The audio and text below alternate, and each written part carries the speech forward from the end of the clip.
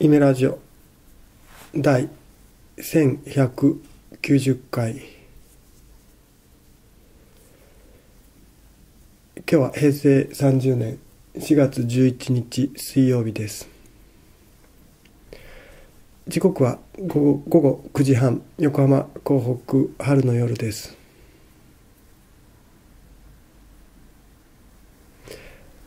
横浜港北の夜景今宵もとっても綺麗ですね。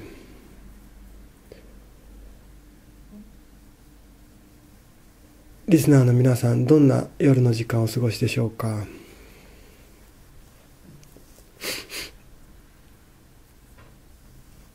夢ラジオ今回は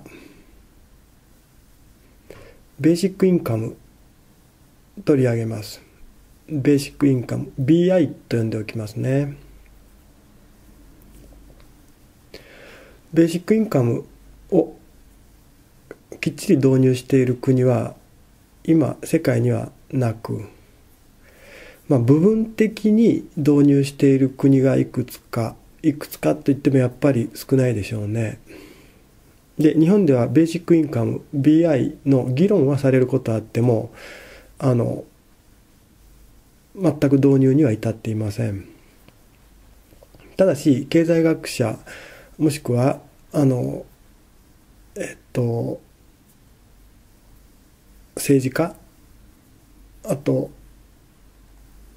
まあ知識人たち日本で BI 唱える人いるはいて、まあ、ですからその BI 議論になった時そもそもベーシックインカムが何なのかについて知っておくことは重要でしょう。お話しいたします。ベーシックインカムっていうのはもちろんねこれができれば越したことないんですよ。このベーシックインカムというのがもし可能ならばこれはこれでやっぱもう最高の国家形態。だけど無理なのでねやりたくないとかあるいはベーシックインカムにもあの弱点がある欠点があるからというよりむしろそもそもやろうと思ってもできないので導入できないと。できれば最高ですよ。あの基本的収入基礎的収入と訳せますね BI は。つまりこの世のといってもまあ国が単位ですけど、まあ、ここ日本ですから日本の国民のみんながその年齢に関係なくあの自分の持ってる資産等にも関係がなくベーシックなインカムが受け取れるようにしますというそういう制度なんですよ。どうでしょうね今一人の日本人があの何にもしなくてもですよ何にもしなくても生きていく最低限度の量ってお金っていうのはおそらく10万から15万円15万もあったらまあ余裕ですね。ですから本当に国の福祉というのを考えるのならばお金持ちも貧乏人も誰でも彼でも大人も子供もあ子供はどうなんのかな。うん。あ子供もですねでもね。15万円ずつが必ず割り当てられるっていうそういう制度が BI なんですよ。まあ15万がまああまりにも手厚いってことで10万？あるいは8万、うん、でももし8万あったら例えば30日で割った場合月8万。30日で割った場合は2500円ぐらいですか？1日2000円。ならば医療費というのをのけて考えた場合、まあ、十分食べてはいける。ただし持ち家があればの話であって家もないという人になってくるとまあ最低限のとこ住んでくださいってんでも5万円かかるとした場合やっぱりさっきの食費の8万円あるいは食費ちょっと切り詰めてもらって6万円で家賃の5万円。でけれどまあ大概病気にかかりますから弱者はね。でそれで12万13万というそういう感じになるのかもしれません、まあ、要するにふさわしいベーシックインカムの額がどうなのかは本当にきっちりやれば難しい計算になりますからここでは省略します。日本で今取っている制度は生活保護なんですよ。生活保護、つまり生きていけなくなって財産もゼロとなった時、役所に駆け込めば、えー、っと、生活保護がもらえます。いくらぐらいなんでしょうね。あの、何にもないというふうに申請していった人がもらえるお金。つまり、まず預貯金はゼロ。で財産なしともちろん土地もない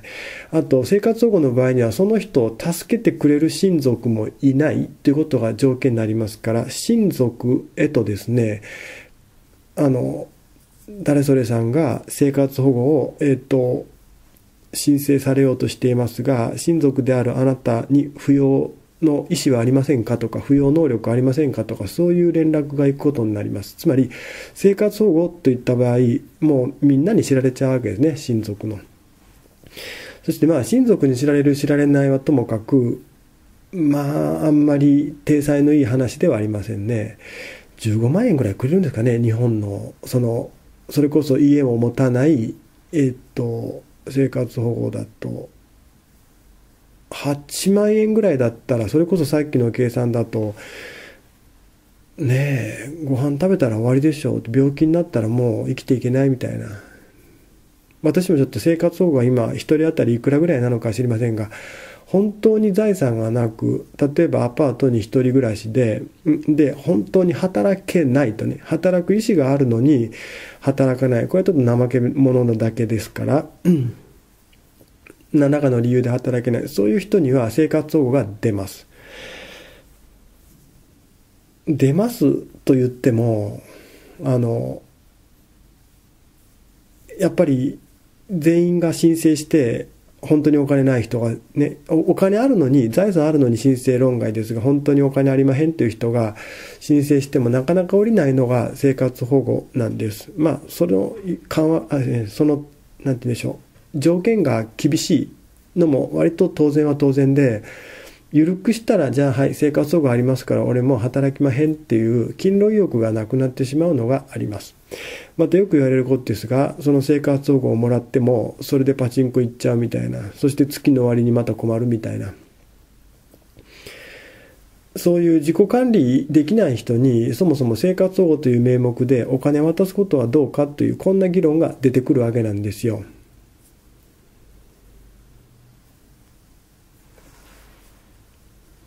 だったらねもうどんな風に使おうか。それはもう個人に任せる。渡した後はもう知らんと。その代わりあの一定程度の額を国が最低限全員に飛んでる人も貧しき者もね。老いも若きも支払いますと。でこのベーシックインカムができればさっきのようなあなたは生活保護を受けるに値する値しないという審査こういうものが必要なくなってきます。みんなもらえるんだから。そしてこの BI ベーシックインカムがあの制度化されている国においては究極的なね恐怖生きていく時の究極的な恐怖死ぬんじゃないかってやつね。おまんま食えずに死ぬんじゃないか。実は私たちを突き動かす大きな動機はこれですよね。食べれなくなって死ぬんじゃないか。お金なくなって死ぬんじゃないか。もちろん生活保護というセーフティーネットあるとはいうもののまあ普通の人は生活保護なんかもらいたくありませんから。そういうことを考えた場合えー、っとねベーシックインカム BI これが実行できるんなら越したことありませんが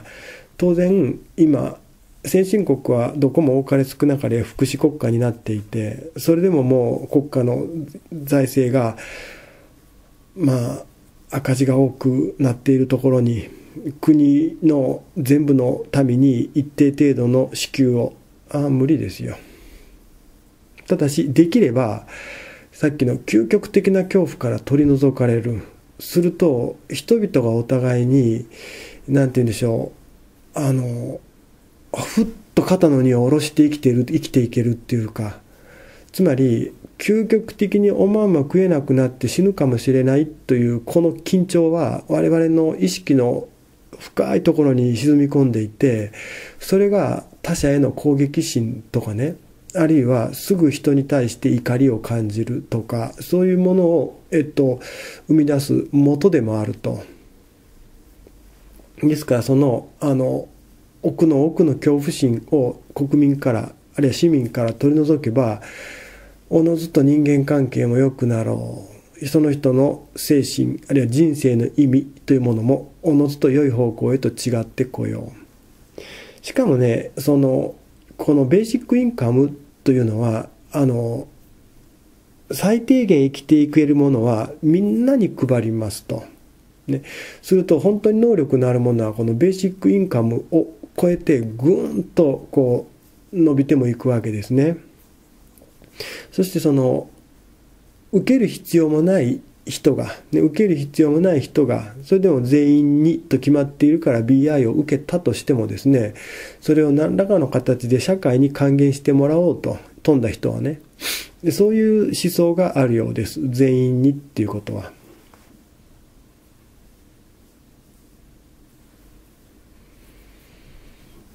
うん。放送の冒頭でも言いましたこのベーシックインカムもちろん生活保護よりこっちの方がいいに決まっていてけれどまあ全員に10万円月々日本国民なら1億何千万円1億1000万人ぐらいいるのかな無理です。今ですら生活保護という非常に限られた人々に支給するというこの制度を取っている今でも日本の財政はもうこれ以上膨らませられないみたいなこれで BI の議論はしてもしても50年後かなとかあんまり気合の入らない議論になっちゃうわけですね。しかもしても50年後かなっていう時のその想定される50年後というのは今よりも財政が格段に、えー、と改善していて、うん、日本国債は今1000兆円超えていて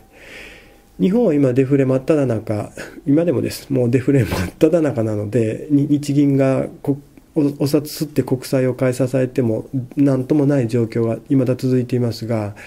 まあ、このような状況下でやっぱ特殊な形式といえば特殊な形式なんですよ。中央銀行がお金吸って国債を買い支え続けるっていうこのスキームはね。だからこんなことをやってるそういう、えっと、社会においてベーシック一家はそもそも議論にはならない。もっと財政が健全化しもっと言えば税の範囲内でえっと、国がやりくりするっていうそういう状態が可能になった時それでもベーシックインカムを、えっと、実施するならばその国こそ理想国家と言えるは言えるでしょう。だから BI という概念に近いものとしてある時期の石油産油国そういうのが挙げられるそう言ってもいいかもしれません。つまりものすごい石油から上がる、えっと、収入が国家にあるのでもう行ってもう働いてようが働いてまいが老いも若きもねその人の資産にももちろん関係なく一定のなんていうかこう国からのなんて言うんでしょうあの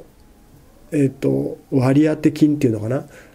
そういうのが国民にこう渡されるっていう